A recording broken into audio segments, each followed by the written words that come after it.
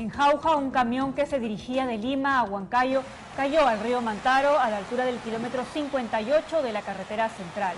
El ocupante, Noé Valero Torres, logró sobrevivir a la caída y fue trasladado al hospital de Jauja. Sin embargo, el conductor del vehículo, Godofredo Lázaro Julcarima, desapareció en el accidente.